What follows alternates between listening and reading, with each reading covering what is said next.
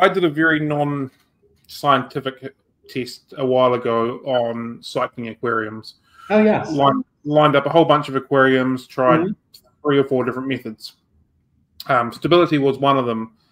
Throughout the, the test process, there was always a number, an amount of ammonia and nitrite throughout the water, and it mm-hmm. fluctuated quite a bit. Mm-hmm. Um, I didn't read the instructions properly, as it said to add prime to it. I was naturally assuming prime was just to dechlorinate the water as opposed to help with the cycling process. Okay. How do those how do those two products work together for cycling and aquarium? Quite hand in hand, of course. You know, where um, whereas prime detoxifies or uh, chlorine mm-hmm. and chloramine, and then when chemically when you detoxify chloramine, you have an exposed nitrogen that three hydrogens attached to immediately, and ammonia is created. And if you have high chloramine levels, you could have an issue. So prime will detoxify that ammonia that's created by detoxifying the chloramine or breaking down, reducing that chloramine. Um, prime will detoxify ammonia over 48 hours in a toxic situation. So if you have a spike, it's going to hold it in a non-toxic form it binds to ammonium salt, basically. And that is a non toxic form. It'll be still present on a traditional ammonia kit, but it's in a form that's non toxic.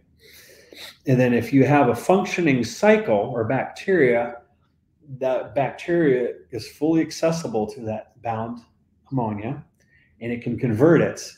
And it'll be when the bond breaks away in 48 hours, there's no ammonia to return into the water. And then Prime works in a similar fashion on detoxifying nitrite and nitrate.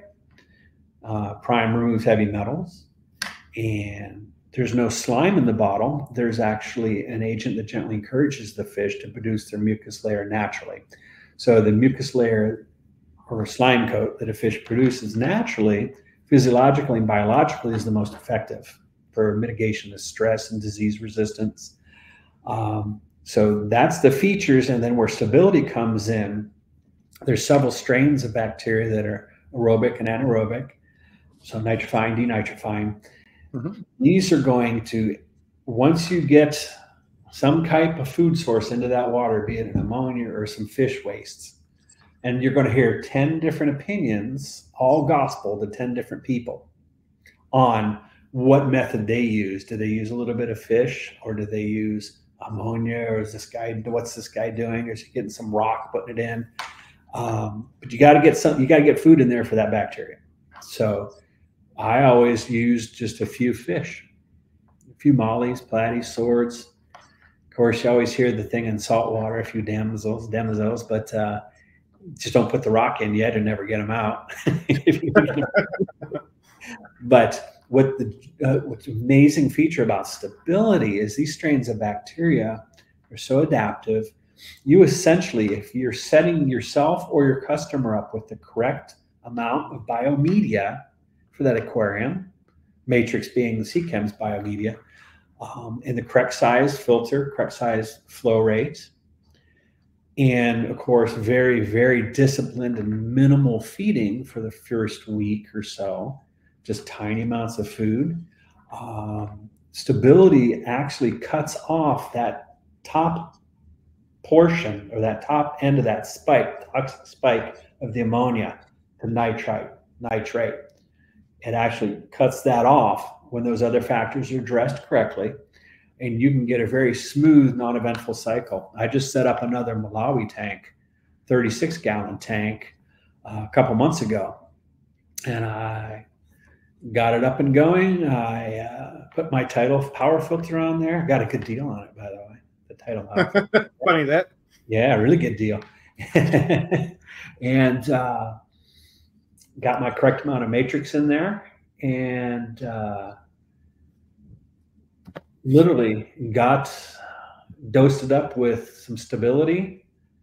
Literally went to my LFS and I got three electric blue johanni and three bumblebee cichlids. I think Laprologus. Give me on that. Um, and got them in there, and, and that's within within two hours. And uh, and Didn't feed them that night. Of course, the next morning, literally something that worked out to be about two or three flakes per fish, something very minimal. And not once did I have any clouding issues, no ammonia spike, no nitrite spike, nothing.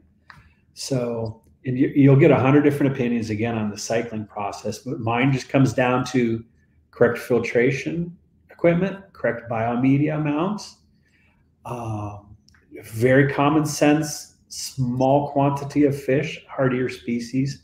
Maybe every, not people, a lot of people want to do cichlid, but uh, um, and stability is advanced enough to where you're going to knock off those toxic spikes. Now, there's always somebody that can, can torpedo anything.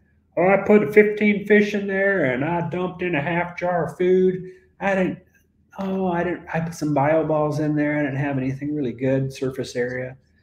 Then you could have tragedies, no matter what product you're using. But uh, stability is quite flexible, quite amazing. Try not to sound like a commercial for stability, but two thumbs up. so, so what I'm hearing from that is that for stability to work to its full ability, it needs to be used for prime and a large amount of biological filtration. Not a large amount, but the adequate amount is directed. Okay. Like on our, like our website or our products or any products uh, will have a recommended amount or quantity volume per gallons or literage.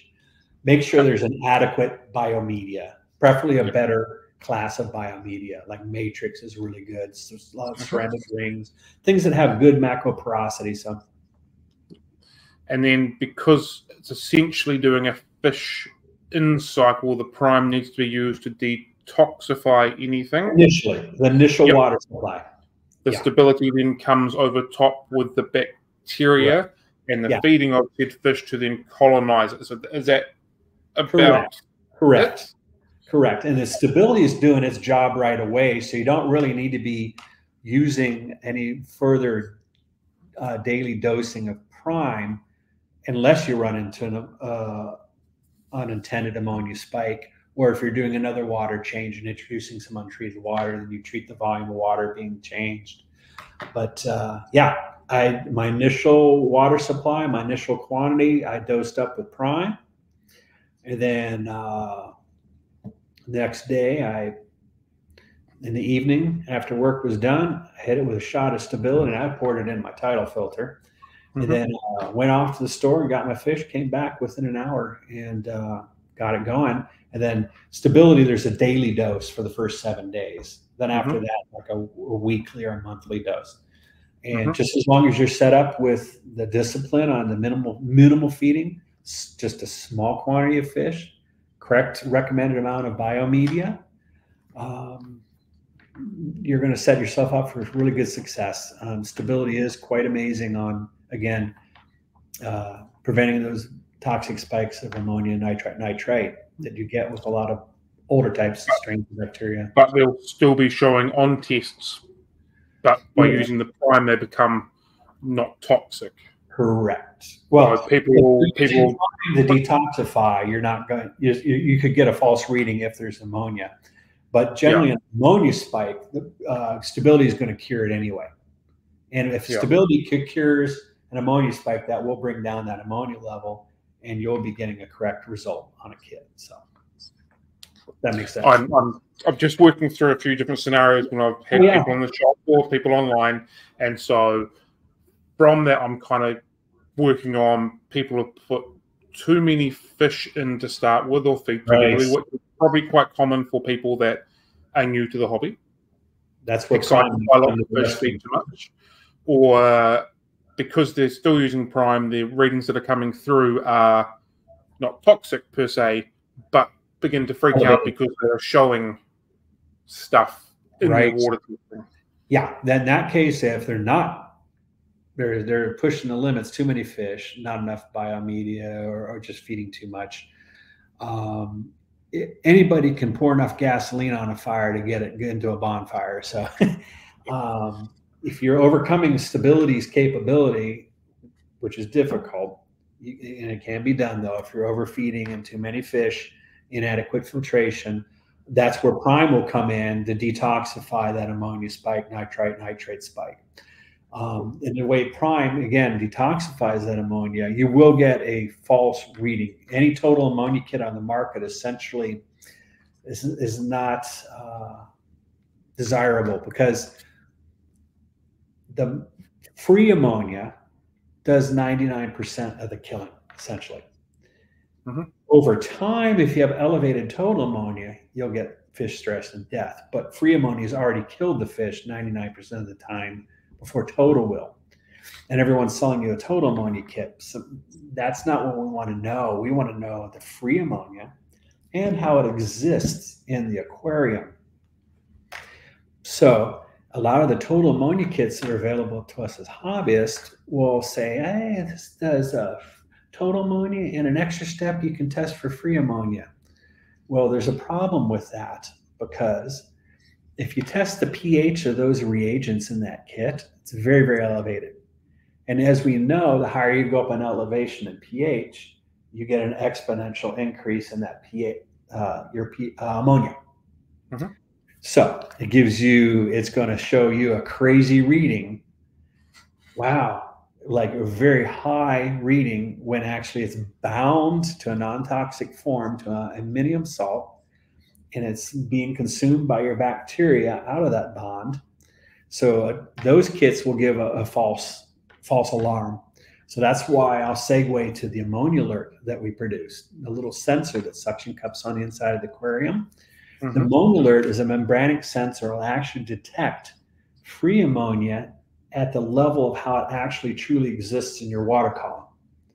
That's what's critical about the ammonia alert, not just a cute little gadget on your aquarium, but using an ammonia alert is the only true way to determine if your water conditioner that claims to detoxify ammonia is doing the job. So that would be why, at least in New Zealand, there's a bit of a hoo ha about those alert tags okay. not not working. So that would be when people pull out their liquid test kit and it's showing ammonia, but the alert's not because it's testing two different forms right. of ammonia. Reagents have a super high pH on, on that free ammonia kit that they're using. So it gives you a false reading, not actually how that, that free ammonia exists in your aquarium. And many, many times throughout the years, um, if the ammonia alert wasn't explained correctly, um, ammonia alert, you're not going to sell it to a discus keeper. You're not going to sell it to somebody who has, we like to say 7.0 and below. Or even even if it's 7.2 or under. Because in chemistry, um, every reading you go lower from neutral, 6.9, 6.8, 6.7, actually every point below 7.0, ammonia is converted to ammonium. Mm-hmm. Ammonium is non-toxic to fish. It's mm-hmm. bound ammonium. So low pH um, aquaria, ammonia is not a killer. It's not an issue. Now you might have a, a aquarium that's six eight, six nine, and you do a water change and put some rock in there, and then it pushes it up over to seven two or seven three for whatever reason, that could unbind ammonia, and then you have an issue. So what happens is sometimes we might have had a a discus keeper or a, someone keeping a, an aquarium in the, the low acidic range. They buy the ammonia alert, put it on their aquarium, and go, hmm, you know, it's been six months, and that's just it's never gone off. It's never changed color. I wonder if it's even working. So they dust off their old total ammonia kit, do a test, and it gives them the most tragic reading because it unbinds ammon- ammonium essentially. Mm. And the customer might feel, oh my gosh, I have a toxic situation in the tank and the ammonia alert never worked. Well, chemically, not sales jargon, chemically, physiologically, it's not, or physically, it's not going to register.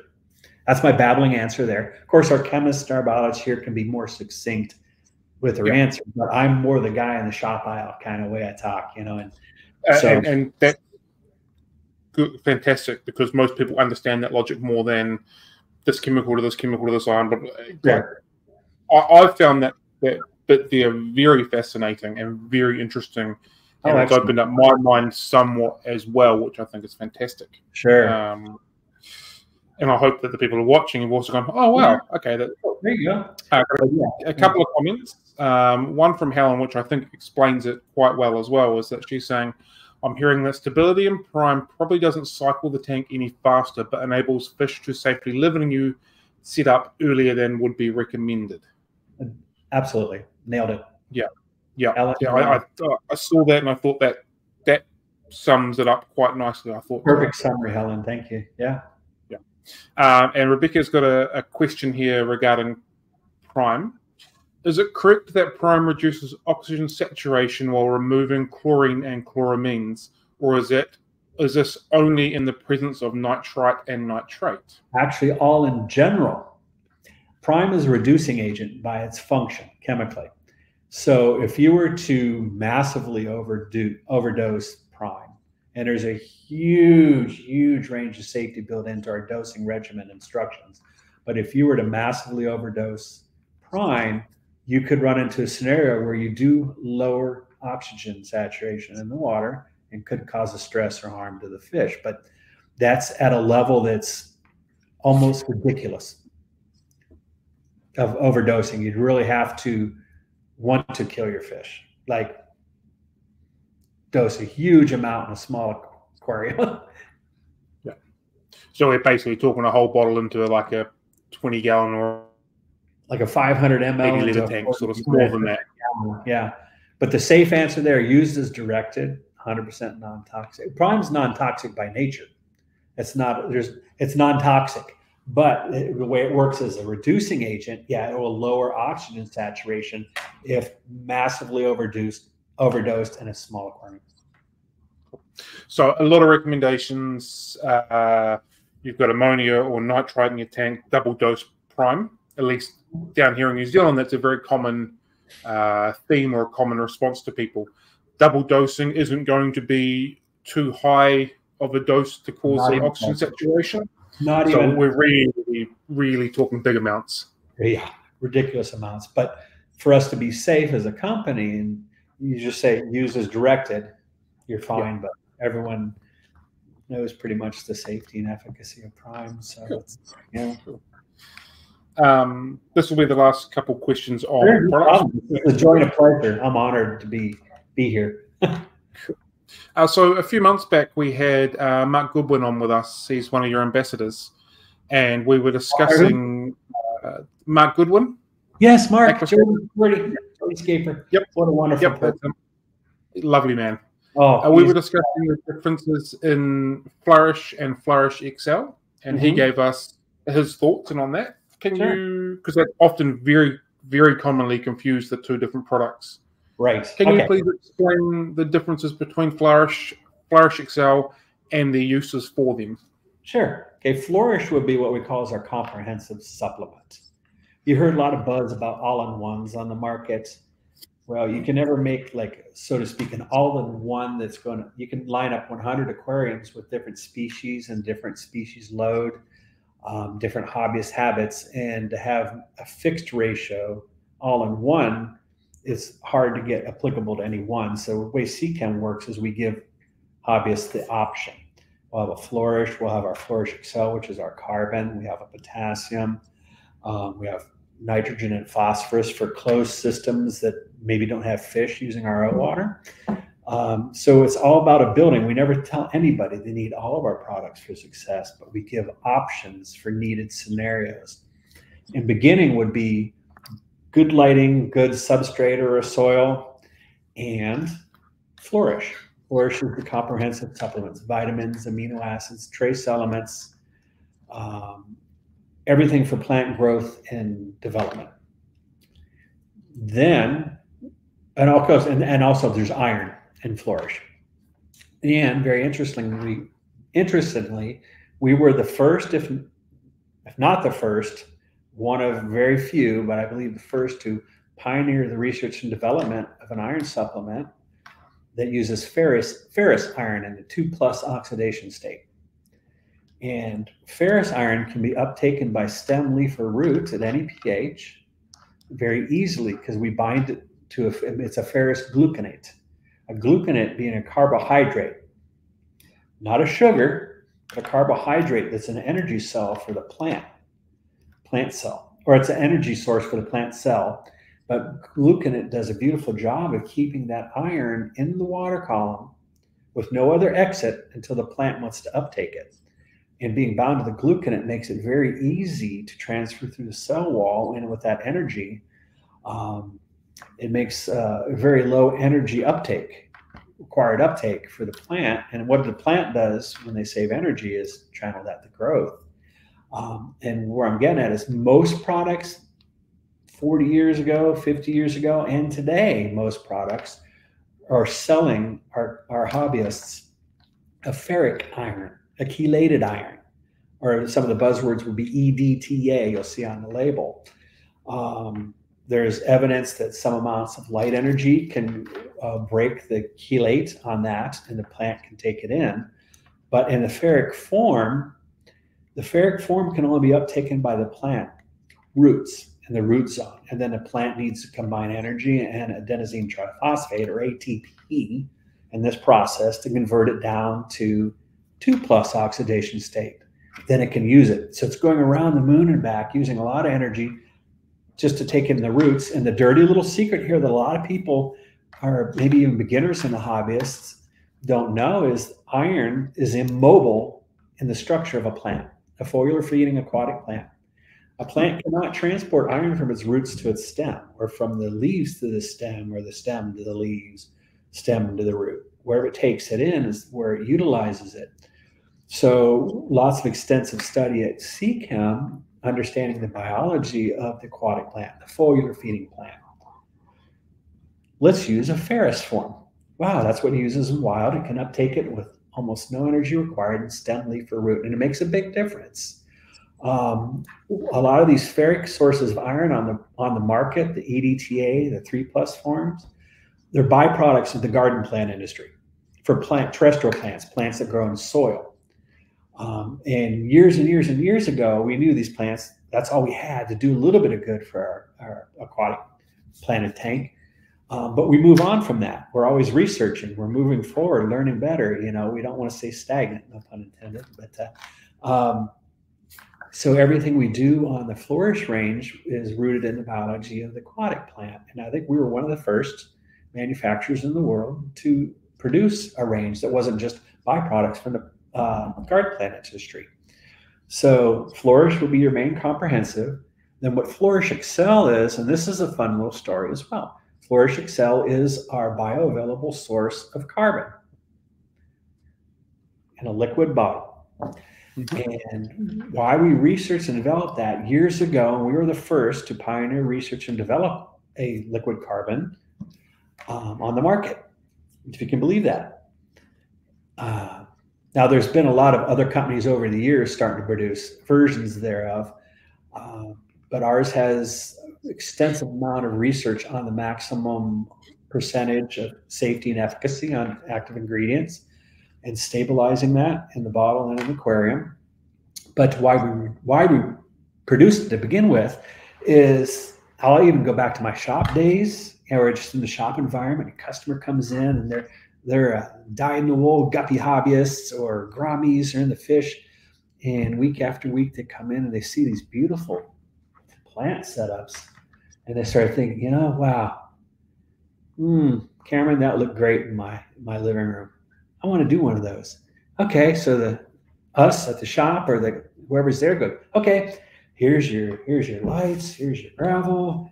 Okay, do, do, do, do, do. Oh, here's your CO2 injector. How much is that? Usually, the the process is uh, well, they're expensive. No matter what country in the world are, CO2 injectors are a little cost costly. There's some cheaper ones that have come along in the market over the years, but overall, that's another investment. And I think even more importantly, someone new to the aquatic plant keeping, um, they haven't gained the experience yet to monitor and regulate a CO2 injector correctly. So what happens many times, you have a scenario, the customer goes home all excited, and they nuke their tank with their injector, and oh, this is not fun. And they may or may not have got good advice from the shop on how to, you know, to monitor and regulate, or it was too expensive. So that poof, closes the door on most of these new budding plant hobbyists. Mm, they go back to the gouramis, go back to the guppies, or we don't want to lose that opportunity. So we develop Flourish to be a stand-in source of bioavailable carbon. Um, and even most low energy environments today, uh, you, wonderful, beautiful results long term. High energy environments, uh, you can also add CO2 injector with it to augment it. But it opens the door and allows you to have great success, a flourishing aquarium, and get really hooked into the hobby and see see some joy from it. And then you can use Flourish Excel in conjunction with a CO2 injector for augmentative benefit as well. But all of us will know a CO2 injector in the hands of an experienced, knowledgeable hobbyist will get the greatest success. But uh, Flourish Excel is the gateway. It's the gateway drug the hobby, man. Sorry, um, there's, there's a lot of people potentially down here, potentially worldwide. I, I can only really talk from New Zealand's point of view. Sure. That basically just say that Excel is an algicide, and all it all it's basically doing is keeping algae away so the plants can grow. Mm. Uh, can you talk to that a little bit, and, and how has sure. that sort of um, comparison begun happening? Flourish Excel is not an algicide, was not formulated to be an algicide, but many people around the world have seen claim that using Excel will kill that beard algae. Their claims made by many people in the hobbies throughout the throughout the years. Um, that's where we'll leave it. It's not an algicide; wasn't intended for that. It's intended to be a bioavailable source of liquid carbon. Um, cool. Um, we've got two more comments just up here. Uh, Rebecca asked again another question. Uh, good to know regarding the prime and the oxygen, and should assume that the time scale for the reduction is not going to be long, and it wouldn't bioaccumulate in the aquarium even with water changes. Correct. It breaks down over time. Cool. And Zen has asked about uh, the ammonia alerts, and does something like CO2 affect it? She noticed that the pH alert stops changing after about three months, and she has to replace it. Correct. Okay, pH alert. Yeah, depending on the amount of uh, salts and organics in the aquarium, pH alert can last anywhere from three to six months. Um, where ammonia alert will last well over a year. We but we place one year on the package. Um, far as CO2 affecting the sensor, no. Varying levels, no. Awesome. Thank you for that.